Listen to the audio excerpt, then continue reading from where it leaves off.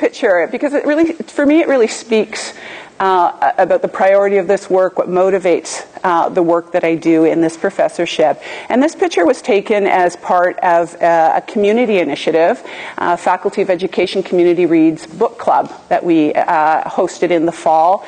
We put out uh, for everyone to read the absolute true, the absolutely true diary of a part-time Indian, a young adolescent novel by Sherman Alexie, and engaged the community, teachers, educators, families, and as you see here, students in the reading uh, of that text. And I was really fortunate to work with the students at Britannia. We hosted our own little lunchtime book club, um, and we engaged both Indigenous and non-Indigenous students in the reading uh, of this text. So it's just really, you know, it, for me, it's a it's a reminder of why I do this kind of work, which is really about transforming Indigenous education uh, as a way of improving educational success, not only ed- outcomes but educational ex- success for our young Aboriginal learners, and helping really rethink that relationship um, for non-Indigenous uh, students to help them rethink that relationship between Indigenous and non-Indigenous peoples. And so, uh, a little bit about the picture, but I'm really grateful for uh, to Dr. Archibald, to Joanne for um, you know the work that she has been doing. It's really paved the way for this initiative. I think about her work in NITEP, the director of the House of uh, Learning, the associate dean of Indigenous Education, and the contributions of uh, programs such as Ts"kel that have really been advancing uh, Indigenous knowledges in the Academy for the last 40 years. And so I'm very grateful to her for the work that she's been doing at provincial and national levels, uh, such as the National Accord on Indigenous Education, to which she's an author, that really provides a rationale and a basis for the work, uh, th- this work um, that I'm doing in the professorship. But I'm also really grateful to Dr. Frank, Blye Frank, for his support uh, of this work it was really not only does he talk the talk, but he walks the walk. And I really appreciated this year. I was at the teacher education orientation of our 629 students, and following our uh, welcoming by one of our NITEP graduates. Um, Marnie Point. Well, I got up and talked to the uh, talked to this group, this large group of students, about Indigenous education as a priority in our faculty uh, that this is something that they will engage in not only as a required course, but these Indigenous knowledge perspectives will be observed across the curriculum within our faculty. And I think when we hear that from, you know, the sort of top up speaking down to us, um, sorry to put you on some sort of pedestal there, but this idea of, you know, these ideas are coming from the top up, you know, working the way down, really makes the work that we do, all of us do as educators at the grassroots level and in the classroom, you know, helps, really helps move that work along. So I was really grateful uh, to hear Indigenous education in teacher education really as a priority. Uh, thinking about Indigenous education and teacher education, you know, Aboriginal education in Canada has had a long-standing tradition already. Uh, in that, I think about our uh, NITEP program, SUNTEP, BUNTEP. So many of our Aboriginal teacher education programs. I mean, they've really laid the groundwork for helping us think about Indigenous knowledge systems in in the academy here, or certainly within our faculties of education. But yet, I think there's been uh, a changing landscape uh, certainly on a policy level, whereby uh, you know, I think about the National Accord on Indigenous Education that was launched in 2010 and, sign, and signed by all deans of, uh, in faculties of education across Canada, which speaks to um, you know, the goals of this accord are to advance Indigenous identities, cultures, language, values, ways of knowing, and acknowledge systems. Uh, sorry, and knowledge systems in all Canadian learning settings. And so this has been really, I, I think, uh, sort of the motivation behind uh, now centering, really thinking about not just being inclusive of Indigenous knowledge perspectives, but how do we begin to really center Indigenous knowledge perspectives and pedagogies within our faculty of education. And certainly that has led to required uh, course instruction here in the province of British Columbia. Now that's being taken up certainly in different ways. Uh, other required courses such as at UBC and UVic, uh, but also integrated, uh, integrated models within other kinds of coursework. There's also policy uh, from our BC College of Teachers, which is again requiring that teacher candidates take up coursework that focuses on Indigenous content, histories, and perspectives in their training. And finally, even our standards for BC teachers also require that educators teach students to understand relevant curricula in a Canadian, Aboriginal, and global context. So we're really starting to see the relevance of this within our broader teacher uh, education program. And I do recommend, I, do recognize some of the limitations of the professorship uh, in, in terms of um, you know, I think about the goals of NITEP, and, and while it doesn't address necessarily uh, specifically the goals of our NITEP program, it is very, the pro- work of the professorship is inclusive uh, of NITEP, the NITEP students, and the, and the various contributions of NITEP to the work of the professorship. So I, I then want to try, so what I'd like to do is um, speak to some of the goals, some of the things that I've been engaged in uh, as that represent the goals of the professorship and address some of these trends and issues. And I think that if we are really um, you know, changing the landscape, uh, contributing to the changing of landscape or transforming Indigenous education really requires the effort of all of us, and that's why I, I appreciate uh, Beth, you know, you're you know, telling us about the notion of dialogue.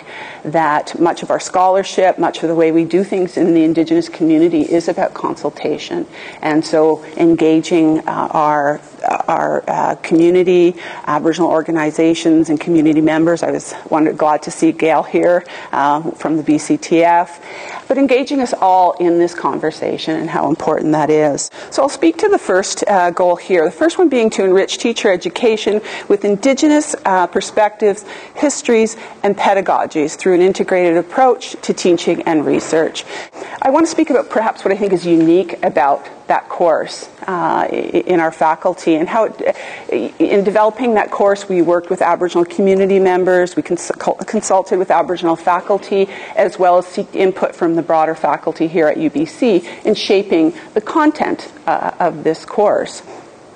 I think what was also helpful is we looked at over 20 Aboriginal education courses that are being taught across Canada to look at, you know, what what are people, uh, you know, what are people teaching, what's important, what's the content, what you know, what can we learn from these, and how can we move forward. And so uh, that enabled us to think about different aspects of the course that we may not see in other uh, teacher education or, sorry, other Aboriginal education courses.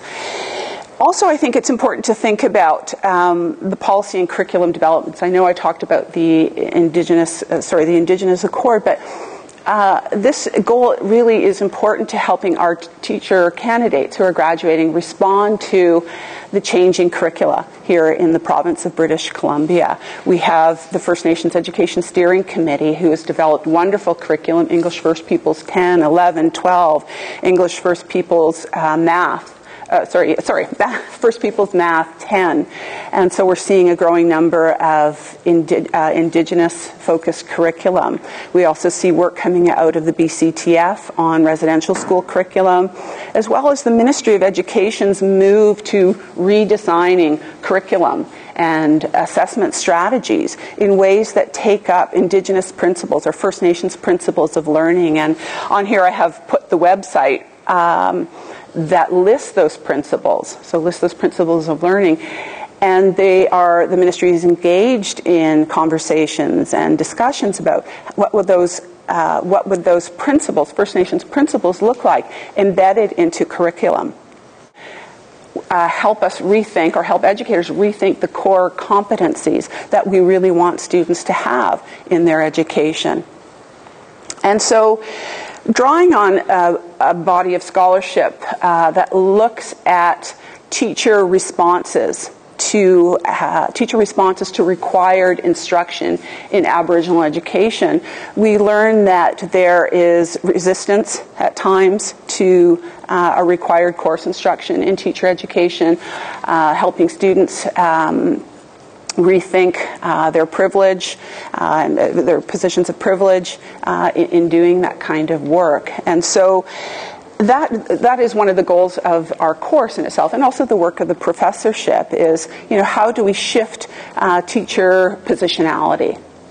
And so we draw on the work, in this course, we draw on the work of Susan Dion, uh, Indigenous scholar Susan Dion at or York University, who talks about educators uh, as uh, how teacher educators and well, and educators, I should be talking pre-service and service educators, position themselves in what she calls the perfect stranger in that they position themselves as saying, I don't know, uh, I don't really perhaps need to know, I may not engage Indigenous uh, learners, uh, or I haven't had the opportunity to learn. So it's how they position themselves in relationship to Aboriginal learners. And so we're using different, um, different strategies in the course focusing largely on narratives and reflections and biographies in which to do that, but to really shift um, that teacher positioning because I really believe that the educational experiences of Indigenous people can only be advanced through systematic change resulting in these individual shifts in teacher positioning. And so this approach to questioning, examining, and reflecting on teacher candidates' own uh, worldview and social location is certainly not new within our Faculty of Education. Many of our other courses and, and uh, do take up that. But uh, the role of EDUC 440, our new, uh, uh, re- newly required course, you know, helps them to focus specifically on colonization, so their relationship to colonization, their relationship to Aboriginal peoples and how their understandings have been constructed, how their understandings of colonization and of Aboriginal peoples, how these have been constructed, uh, both past and present, and how they result in, um, and as a result, how they engage with Indigenous knowledge perspectives as well as Aboriginal learners.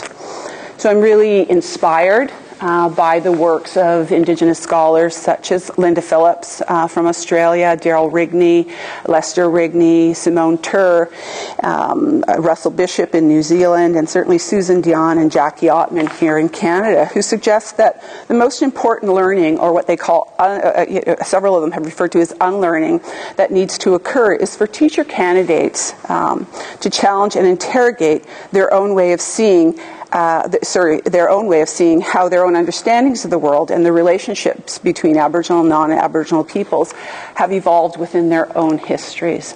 A quote from Linda Phillips in some work I've been reading. Uh, it, the programs uh, or the teaching should allow students to take personal responsibility in realizing the limitations of particular positions and cultural understandings, and to provide opportunities for them to develop new tools for interpreting and, in many cases, raising old knowledge. Uh, and right now, I'm really only speaking to what I think is quite unique about uh, our course offerings. Uh, another is looking at the teaching of residential schools. Uh, we do teach about the history of Aboriginal education.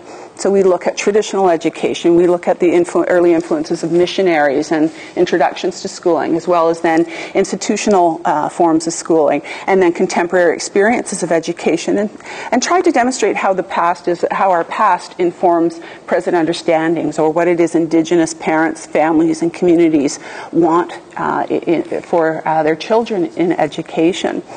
But we also uh, I think it's important to provide for students, our teacher candidates, opportunities to learn how to teach about this particular history, to build their knowledge uh, and their confidence in doing so. And this is really responding to many of the curriculum changes we're seeing across Canada, or initiatives, I guess, that we're seeing across Canada that include, uh, for those of you who were here at the Longhouse, we had um, TRC at the TRC events, which brought in uh, curriculum developers from Nunavut who have created and developed a, a residential school curriculum that all teachers are asked to implement across the territory there. Certainly here in British Columbia, the First Nations Education Steering Committee is developing both a secondary uh, residential school curriculum and a elementary uh, school curriculum to be utilized. The BCTF and the work that Gail Stromquist has been involved in as well, developing residential school curriculum. So it's, it, we need more than teaching about the significant uh, historical uh, past uh, and how this past informs our present.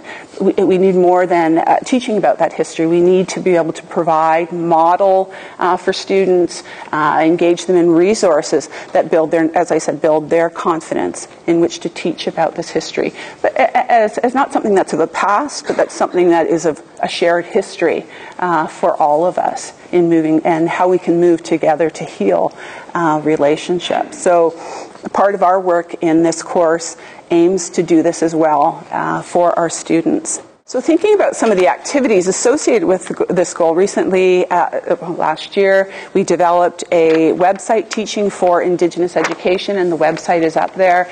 And it really it just encompasses a wide range of resources for our teacher candidates as well as practicing educators. It's a tool or a resource that certainly can then be used across the faculty uh, for in, in, other courses. It contains um, we've been uh, we've really worked hard to uh, include Indigenous knowledge perspectives to develop uh, teacher candidates' understandings of many of the concepts, as well as provide resources that would enhance their experiences in the classroom, and then linking them to uh, um, scholar, more scholarly resources uh, that would continue to advance their understandings of Indigenous education. I'm currently involved in a research project that is looking at the contributions of this required course instruction um, to faculty and student learning.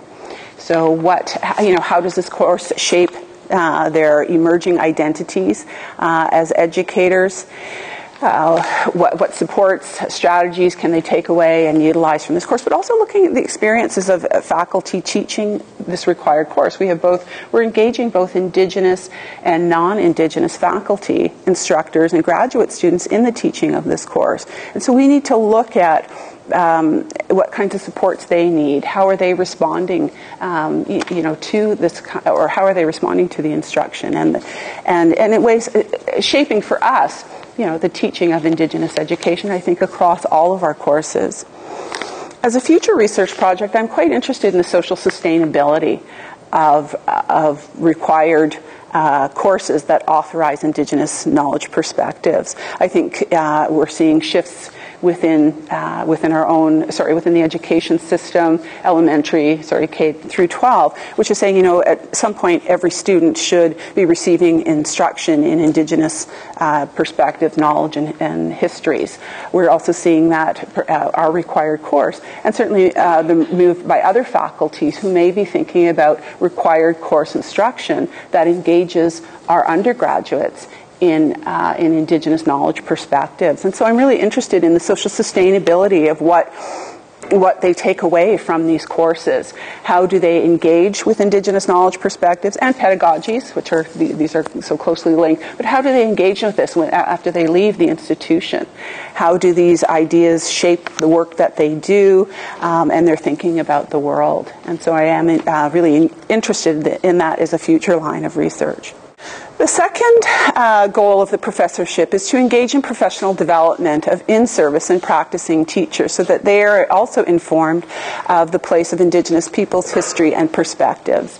And I think this is really important because we're, you know, our teacher candidates are going to be graduating with this uh, very wonderful and privileged opportunity to have, to have had this kind of experience. But we still have a a large teaching force that's been ensconced in the teaching profession who have not had uh, the same kinds of opportunities.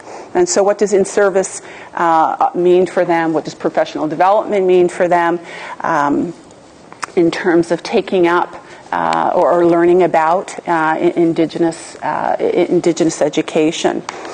And I think the TRC events that have taken place across Canada, to which UBC and certainly the work of Linc Kesler here at the First Nations House of Learning was very instrumental in terms of bringing that to campus for us. But here across the city and national events across Canada, I think really brought to light for those who are engaged in the field uh, to be, really be thinking about Indigenous education, the history and the consequences, uh, to understanding uh, Aboriginal learners and the contribution of Indigenous education to uh, to their very practices. So really, I, I think was very an important event uh, for helping our in-service, our practicing teachers who perhaps not have had the opportunities that are now our pre-service teachers are having, but giving them that opportunity to start to really think about that uh, and to think about the policies and practices that are emerging from our the teachers, uh, sorry, the teacher unions and, and organizations that are supporting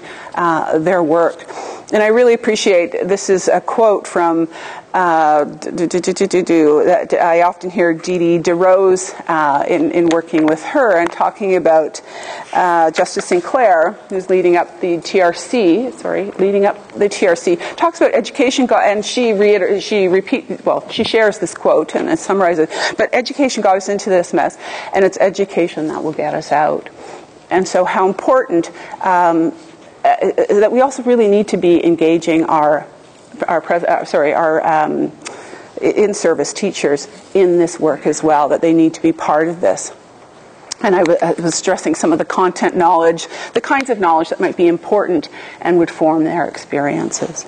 In terms of activities, one of the things I'm uh, well, I was really excited about, and then all of a sudden I learned that I was, we were successful in receiving funding about, and then all of a sudden my, I started to see the enormity of the work, and then my excitement was sort of just starting to slow a bit. So I'm like putting the reins on it. But we, we're working in collaboration with the ministry, with Dee Dee DeRose, superintendent, who was the first superintendent of Aboriginal Achievement, so working with the Ministry of Education uh, in collaboration with them, as well as the work of our, here in the Faculty of Education, uh, PD, Professional Development and Community Engagement. And so we're collaborating on the development of a MOOC, a massive open online course and I'm starting to think this is so massive, I don't even know if I can get my head around, head around this. Um, so, but it's something that we want to do in collaboration with the goals of really thinking about transforming uh, practice for, our, uh, for educators so that they have an opportunity to think about, not only think about how to integrate Indigenous knowledge, perspectives, and pedagogies into the work that they're doing, but to see demonstrated examples of how that's done. Um, often we have students to say, okay, I, I, understand that, but how, do, you know, teach me how to do it.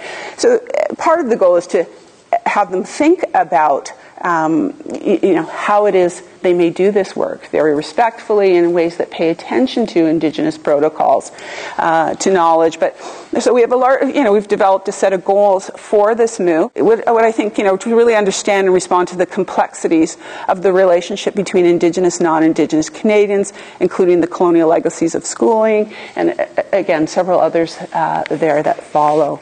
And so I think, uh, you know, also being mindful of the kinds of knowledge that we can represent in an online environment, the kinds of indigenous knowledge representations in an online environment. But I think the MOOC for us offers opportunities to engage a very large community. Um, it's going to be uh, rolled out, we're hoping, in January 2015. So, again, the conversation and input today is, is really important to shaping uh, the ideas, the goals, and, and, and, the content that would form such, a, such an initiative. Um, but again, uh, as I was saying, the ministry is promoting this as a professional development tool uh, within the province and also we want to look at, you know, how can we engage educators, now, you know, on a, on a, national, international level. And then finally, looking at ex- um, extending the professional development opportunities to our own faculty, instructors, and graduate students. I think there's been uh, really wonderful work that is uh, helping us think about the role of Indigenous knowledges here in the academy. And I'm, uh, you know, I was uh, I was really fortunate to be an examiner uh, examiner at a young uh, Dr. Amy Parent, who's just she recently defended her thesis yesterday, and and watching her and seeing how she engaged with Martin Nakata's um, theory of the cultural interface. And I just uh, this goal just reminds me of that work, and, and I was inspired also by her work, where you know that indigenous knowledge systems uh, complement, that coexist within Western knowledge systems, and how these can actually work together. And, and some of his work helps us to think about uh, how we might do that. Uh, also, we have here the UBC's Aboriginal Strategic Plan, to which Dr. Kesler has uh, led the way with this initiative, and really again, creating goals uh, for us to think about here within, uh, not only within the faculty, but certainly across the university, place and promise, and the equity plan about valuing difference. And within these, within these policy documents, they speak to the need for uh, greater cross-cultural understanding, but opportunities for instructors to develop their knowledge, their expertise of engaging with Indigenous knowledge perspectives. As a way of enhancing, again, the teaching and learning here at the institution. And certainly we have an increasing number of Indigenous content courses across the university, um, more so probably in the Faculty of Arts. Um, I acknowledge Daniel Justice, who's here today and chair, uh, chair of that department. And also within the Faculty of Education, we really have a growing number of courses. But it really shouldn't be left to specific disciplines in which to think about uh, doing this kind of work thinking about what I learned in class today and drawing on some of these initiatives uh, and, and, learning from these initiatives as a way, um, you know, got me thinking about framing uh, and, and how to think about this as a particular goal. Also, in the Faculty of Education, I find in conversations uh, with those who are teaching the Aboriginal education course or teaching our required course, we are, it almost feels like uh, they talk about an added layer that not only we are we asking them to impart content and knowledge, but we're often asked to uh, role model for teachers. So we're teaching them how, then how to teach this kind of work. So this this this layer of role modeling, or this added layer, sorry, of role modeling, um, really requires uh, additional supports for our instructors and our faculty engaged in this work with our teacher candidates.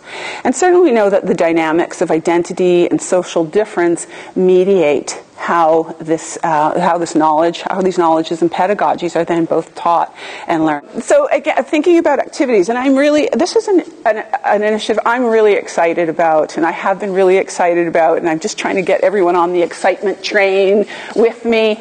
Uh, so I hope you will. you'll think about this in, in, in, how you take up your own work. But we've initiated this year uh, through support from the Equity Enhancement, uh, through NITEP, through the Associate Dean, uh, Associate Dean of Indigenous Education, as well as uh, the Dean's Office, the uh, Faculty of Education Indigenous Leadership and Mentoring Initiative. And this is where we're bringing together small groups of Indigenous, non-Indigenous faculty and instructors and graduate students. They meet in very groups of five, five or six, uh, with an Indigenous scholar leading each of the pods. And they engage in conversations about how they think about Indigenous knowledge, how they conceptualize Indigenous knowledge. We provide uh, a set of resources, so generally a set of readings for them if they'd like to engage with that.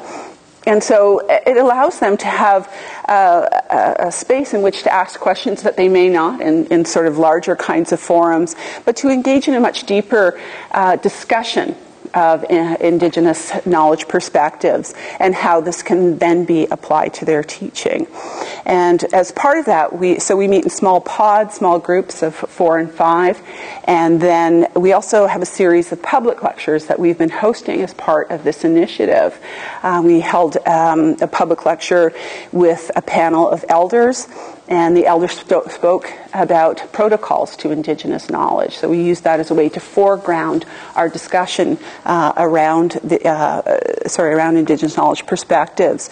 Recently, we've just had uh, indigenous scholar Dr. Maggie Kovach come to visit us here at in the, and she talked about uh, a study, a SSHRC-funded project she's been working on, looking at faculty in uh, social work, professional programs of social work and education, and, and how are they doing this work? And she really observed that they're, you know, struggling to engage in these kinds of conversations around what is indigenous knowledges. So it really speaks to the need for supporting uh, the development or the professional development of, of all of us here in the community uh, engaged in this work. And then finally, experiential learning opportunities that we want to form part of the experience for those taking part, part in this initiative. Uh, as I say, I, I, am really excited by this because I, being part of these conversations with colleagues and graduate students, it's just it, it has been a really wonderful uh, experience, and it's something I'd like to think about in terms of widening the circle so widening that circle to look at can we work with other faculties to do similar kinds of mentoring? Can we look at other partnerships as a way of, uh, of broadening the discussion? Because uh, certainly what's coming up in some of our conversations is, is you know, our emerging, some of us for our, some of us are emerging understandings of in, indigenous knowledge, some of us, uh, you know, really trying to focus on the application of that work to our teaching, but it's been raising questions about pedagogies how do we work with Indigenous pedagogies in very contained spaces uh, within the university that tend to value and well and focus on very traditional uh, ways of teaching. And so again, we want to widen our conversation as well as widen our circle around such an initiative. So that's a little bit about the work uh, that I've been doing uh, with the professorship currently, but really looking for um, dialogue or certainly directions uh, and input into the kinds of work, not only of the professorship itself, but the, uh, the work that we can be doing in supporting our teacher candidates as well as our practicing uh, ed- educators to be advancing uh, in Indigenous education. So, uh, what I'd like to do is engage all of us in this conversation. Uh, in, you know, drawing from our own experiences, drawing from our own backgrounds, as well as the kind of work that we do to perhaps address some of these. So, what knowledge and experiences do you see as necessary and are relevant to the professional development of pre and in service teachers in order to enhance and build on their approaches to plan for, implement, and sustain Indigenous education and Indigenous knowledge systems? And then, how might this be achieved? Uh, and what might that look like for us? So that's one question I'd like us to consider. How might we provide faculty members, instructors, and sponsor teachers, who I think also need to be include, part, uh, part of this, with relevant information about Indigenous education and support the application of Indigenous knowledges and pedagogies in their scholarship and teaching in ways that will have an impact on the learning experiences of all educators? And finally, our third question what additional goals should we be setting to achieve transformative educational change that advances Indigenous education, improves and builds on Indigenous learners' success, enhances both social justice and Indigenous reconciliation for all learners? And this question is really to take us beyond um, the professorship to consider uh, our both larger and collective responsibility uh, in Indigenous education. So, um, miigwech uh, for taking the time to listen to me.